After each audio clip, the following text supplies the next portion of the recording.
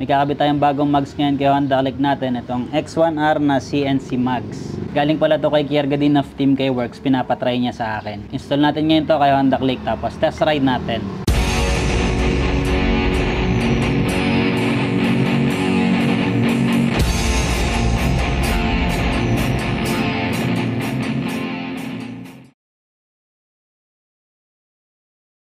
Ito na yung X1R mags natin. Standard size siya. Yung front mags natin, nakinabitan ko na ng disc.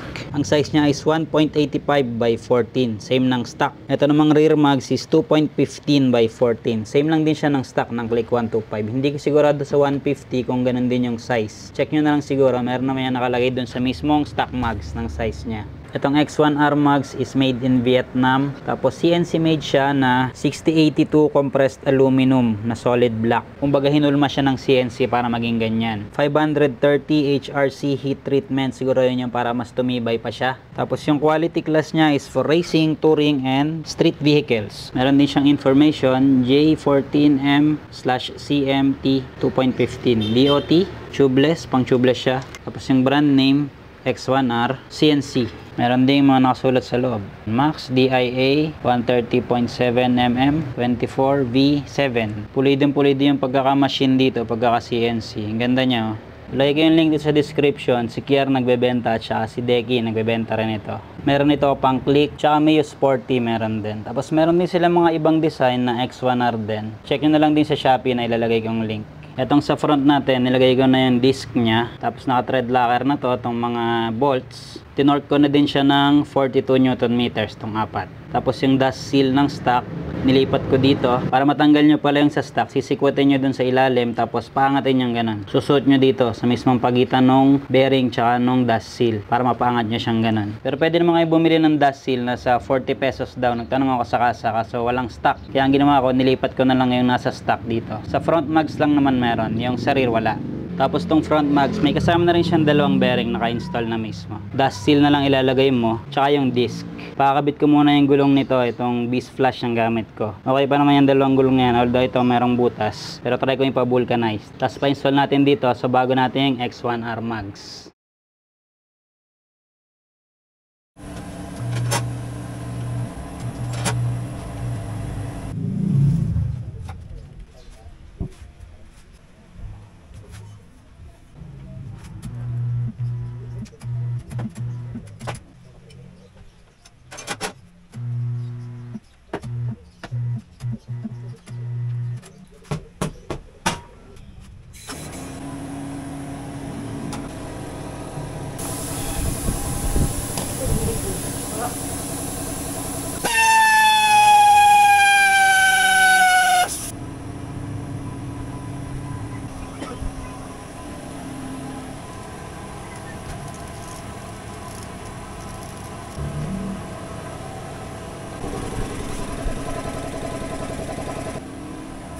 くれます。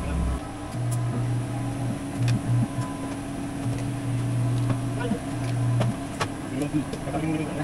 Yan ay itsura niya kapag nakabit na yung gulong. Beast Flash yung gulong ko na gamit ngayon. Stock size, 90 by 90 yung likod. Yung harap naman is 80 by 90. Yung pakabit ko sa kanya is 100 each. Tapos itong likod may butas. Libre na lang yung patch. Parang German patch yata ang tawag doon. Tapos 50 pesos yung pito. Hindi pala pwedeng ilipat yung sa stock. Masisira daw. Buti meron sila nung parang sa stock din yung rubber. Kaya na lang yung pinalagay ko. 50 pesos each. Medyo mas mahaba siya ng konti. PSI is 33 likod, 29 harap.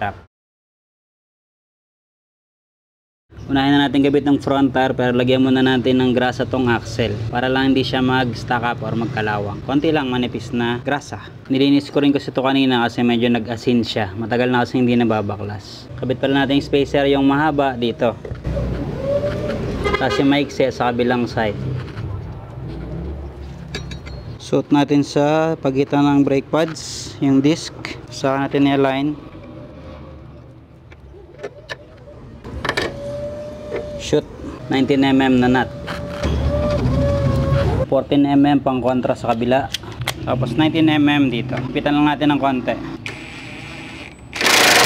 Torque naman natin siya ng 59 newton meters. 14 kontra dito sa kabila. Tapos 19mm 59 newton meters.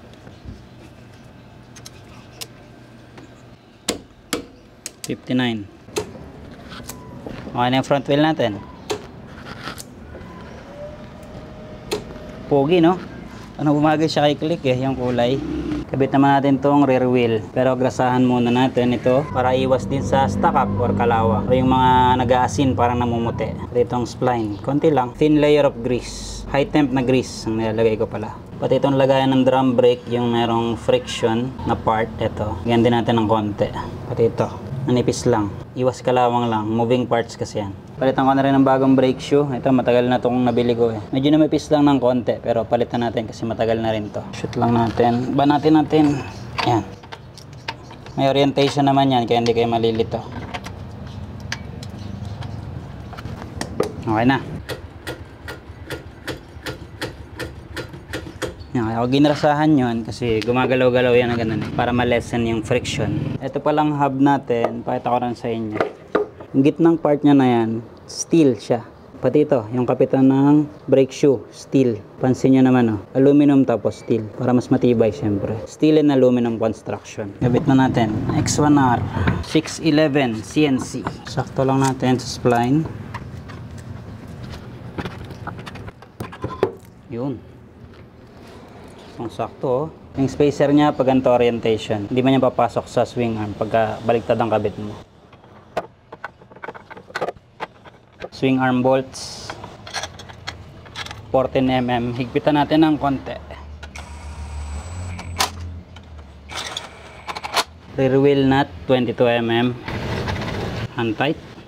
Higpitan natin ng konti. Etong bolts ng swing arm, wala siyang nakalagay dito na torque value. Pero ang ginagawa ko kasi kay ADV, 49 Newton meters. So, ganun na lang din gagawin ko dito. 49 Newton meters of torque.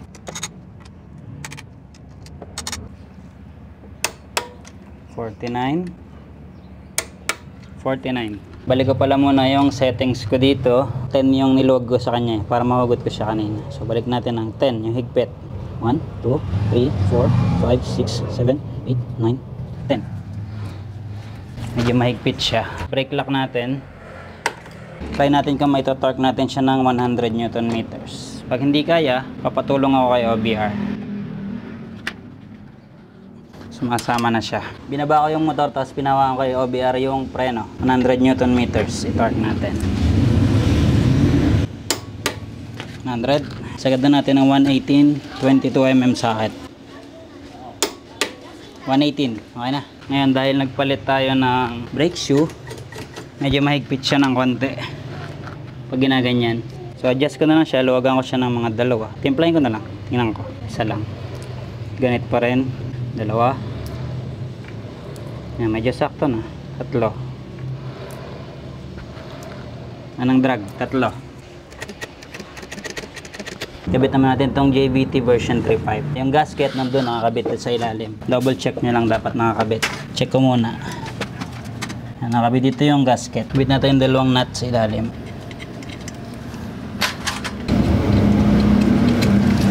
Nakabit ko na para lang hindi siya mahuhulog. Hindi ko natin nagilid kasi medyo masikip doon tumatama. Iisod ko pa rito eh. Pwede namang kapay na lang. Kabit na natin tong muffler mounting bolts.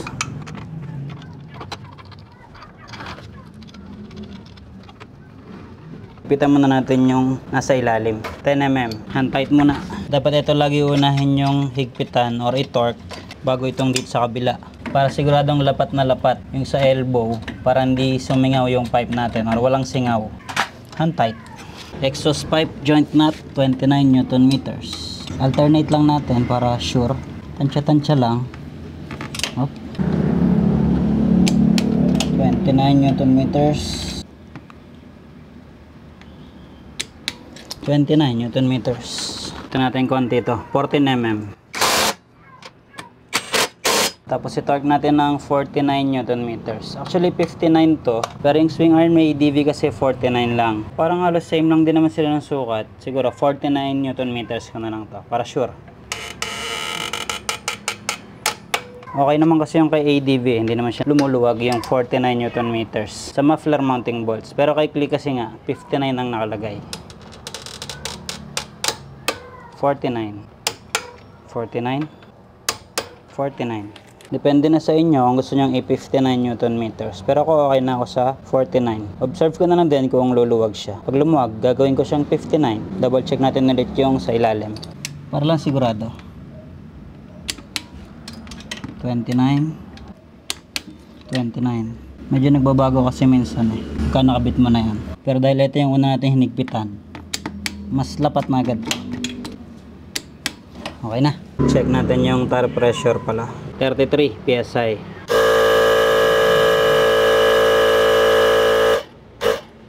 Twenty-nine PSI, hindi lang kita. 29 PSI, front. Ano, okay na X1R mags natin. Nakikabit na natin yung gulong na Beast Flash. Test ride naman natin si Click with X1R 611 CNC mags. Test ride natin si Click. Uh, bago natin X1R na 611 CNC mags. Una ko napansin dito parang hindi na siya gumagewang. Or feeling ko yung stock ko baka medyo may bengkong. Pagka lumiliko ako ng mga kurbada doon doon sa amin. Pansin ko yun eh pagka yung stock. Kapag lumiliko ako doon parang gumagewang siya. So iniisip ko noon baka yung engine bushing. Pero okay pa naman yung condition niya eh. Wala pang cracks. Ngayon na nagpalit ako nitong X1R mag. Siyempre dahil brand new to. Wala pang bengkong. Hindi na siya gumagewang pagka mga kurbada. Lalo yung mga tight curves. Wala nang gewang. Ngayon una ko napansin. Yung sa weight naman almost negligible. Siguro dadagdagan ng konti yung speed kasi mas magana ng konti. Pero yung sa paramdam ko sa takbo kung gumaan ba siya or hindi, almost negligible or hindi ko talaga siya ramdam yung difference.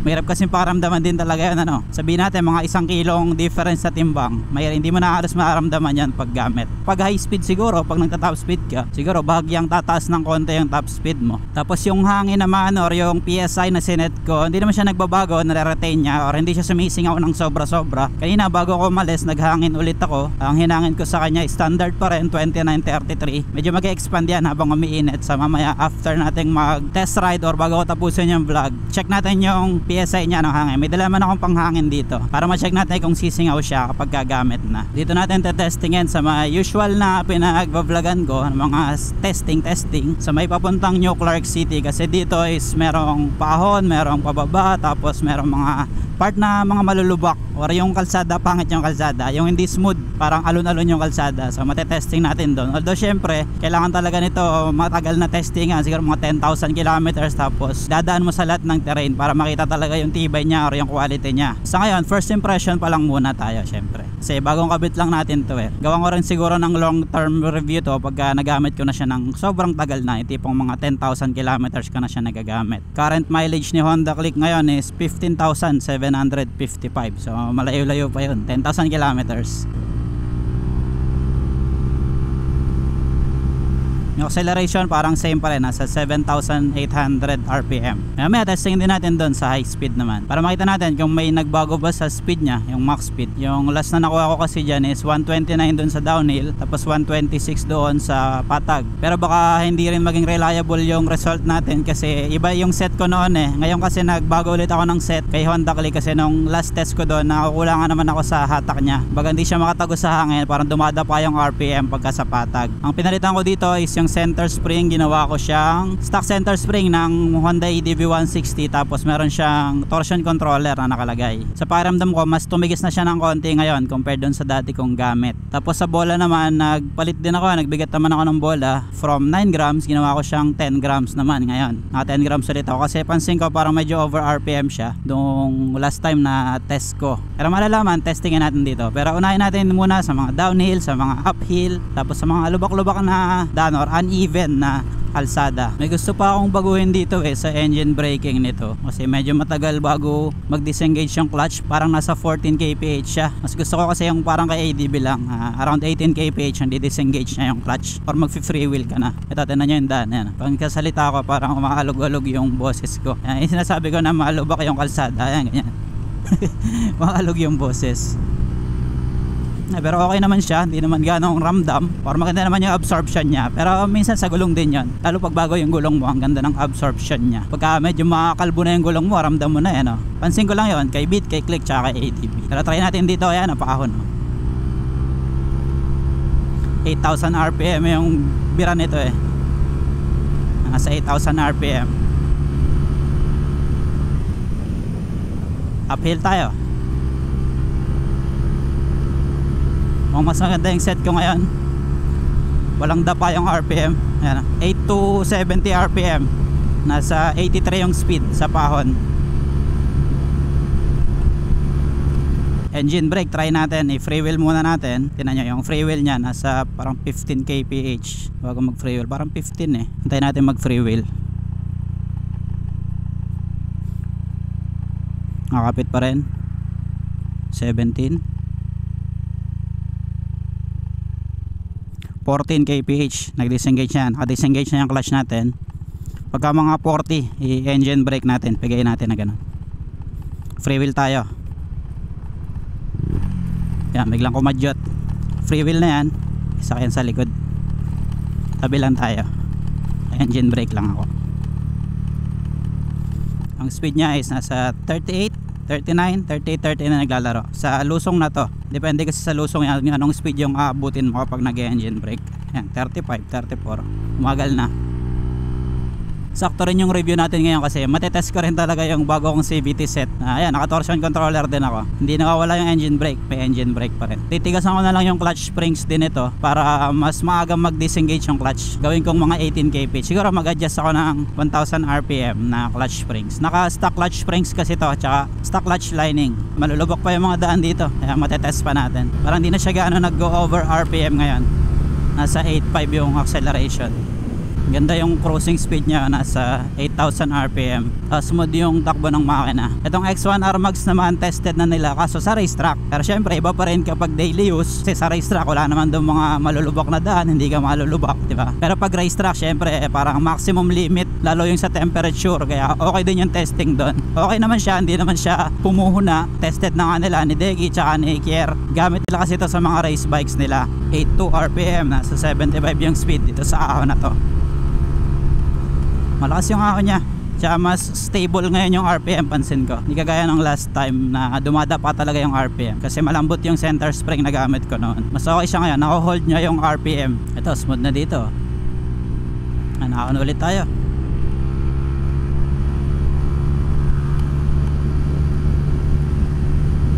Ganda talaga ng RPM oh stable yung RPM 86 yung RPM yan bumababa na. Tumatarik na eh.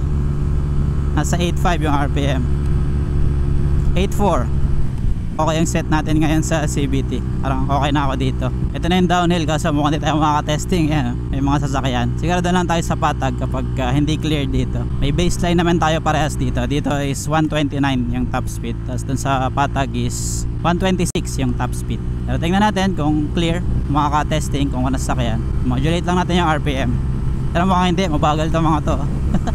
Dalan tayo sa may patag.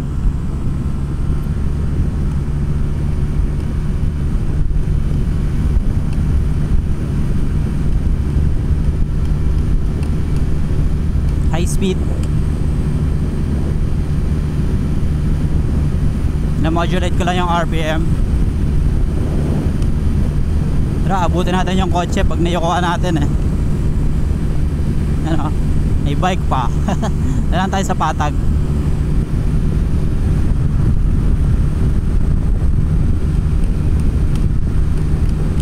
Na walang yukuan, nagwa 120 siya. Downhill syempre. Nabaganan lang natin para makauna tong mga to. Tapos testingin natin dun sa patag. Kaya mag slipstream tayo dito oh. Medyo malakas sa hangin eh. Yukuan natin. 126 top speed to beat. Kaya na lang mag check sa RPM Pero mukhang di naman nada pa yung RPM nya Ay dumada pa yung RPM Ala sa akin. Dapa yung RPM natin. Masyadong malakas yung akin. Pero naka 123 siya.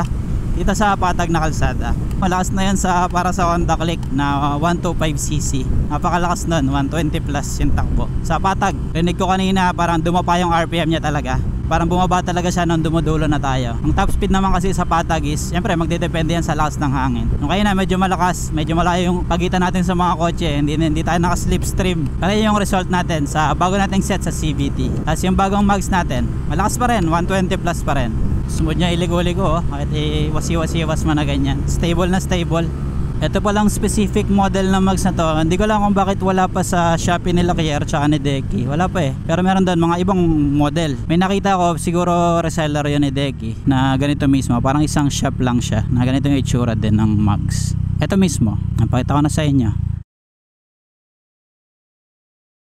Para sa akin bagay na bagay yung kulay niya. Tsaka dun sa forma ni Click na naka-naked handlebar. Chrome ang kulay. Tapos yung isang kulay niya black.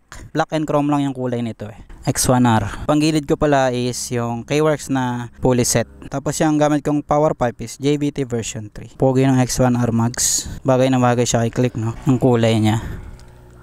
Check natin yung tire pressure kung nagbago, kung lumambot or tumigas. So, ang expectation ko dito, mas titigas siya kasi mas mainit. Mag-expand kasi yan pagka mainit. Ay, nasingaw. PSI niya ngayon is 34 PSI. Check natin yung mags. Wala naman siyang damage. Hindi naman yan basta-basta ma-damage unless sobrang lambot ng gulong mo tapos nalubakan na malalim. Check naman natin tong harapan. Yung harapan natin is 29 PSI. Sakto pa rin. Tapos wala naman siyang naging damage din. Wala. Oh, goods. Sa initial impression, yan, okay na okay naman siyang gamitin. Mas smooth na ngayon yung under. Yung pag naligo ako, hindi na siya parang nagewang. Siguro sa mags ko na din yan. Baka may konting bengkong yung mags ko na stock. Pero yun nga, gagamitin ko pa yan ng mga 10,000 kilometers. Tapos gawan ko ng long term review. Tapos pakita ko sa inyo yung maging condition niya. Lagi na lang namin gagamitin to si Click kasi bira ako na lang magamit to eh. Para dito sa mags na to, gagamitin namin lagi siya. Para ma-reach ko yung 10,000 kilometers na target ko bago ko siya bigyan ng long-term review. X1R mags, made in Vietnam. Solid.